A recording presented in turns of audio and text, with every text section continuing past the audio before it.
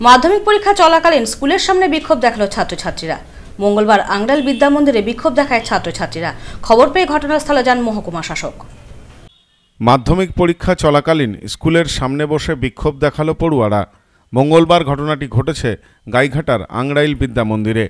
খবর পেয়ে ঘটনাস্থলে যান বনগার মহকুমা শাসক ডক্টর কাকুলি মুখার্জি। পড়ুয়াদের সাথে কথা বলেন তিনি। জানা গেছে, সোমবার স্কুল থেকে বাড়ি ফিরে আত্মহত্যা করে এক ছাত্রী। অভিযোগ ঘটনার দিন অভিভাবকের সামনে স্কুলের শিক্ষক কিছু বলায় অপমানে আত্মঘাতী হয়েছে সে। কি এমন ঘটেছিল সেদিন? সে কারণ জানতেই স্কুলে বিক্ষোভ দেখায় ছাত্রছাত্রীরা।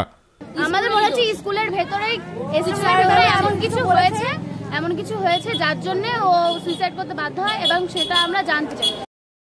আমরা ধর্নায় বসেছি এই একটা কারণে স্যার ম্যাম ওকে কি এমন বলেছে যার জন্য সুসাইড করতে বাধ্য হলো? আমরা সেই কথা স্যারদের কাছ থেকে শুনতে মানে হাসি মুখে এসেছিল। তো এমন কি হয়েছে যে ও স্টাফ রুমে যে কাঁদতে কাঁদতে বেরালো এবং স্কুল ড্রেস পরে যে সে সুসাইড করল সেটা আমরা জানতে চাই। তাই আজকে আমরা ধর্নায় বসে ঘটনার বিষয়ে স্কুলের প্রধান শিক্ষক বলেন এ ধরনের মৃত্যু দুঃখজনক তবে ওর বিরুদ্ধে আমাদের কোনো অভিযোগই নেই। এই ধরনের মৃত্যু খুব দুঃখজনক। রিমা আমাদের এগারো ক্লাসের ছাত্রী। সে যথেষ্ট ভালো মেয়ে। তার নামে আমাদের কোনো রকম কোনো অভিযোগ কোনো দিন ছিল না বা সেইভাবে কোনো অভিযোগ আমরা তার গার্জিয়ানের কাছেও করিনি। ওর মৃত্যুর জন্য আমরা ওর পরিবারকে অবশ্যই সমবেদনা জ্ঞাপন করছি আমরাও খুব ব্যথিত ওই ঘটনায়। এদিন বিক্ষোভরত ছাত্রছাত্রীদের সাথে কথাও বলেন তিনি। যদিও ছাত্রছাত্রী বা অভিভাবকদের পক্ষ থেকে কোনো অভিযোগ দায়ের হয়নি।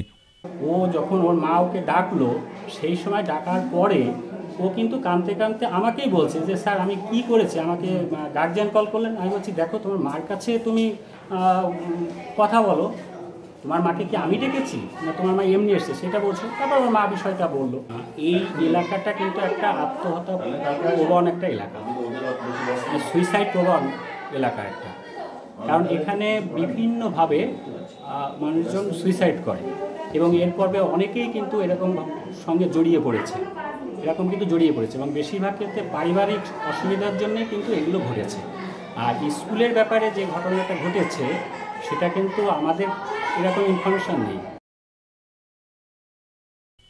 অভিজিৎ বিশ্বাসের রিপোর্ট নিউজ নোম্যান্সল্যান্ড, গাইঘাটা।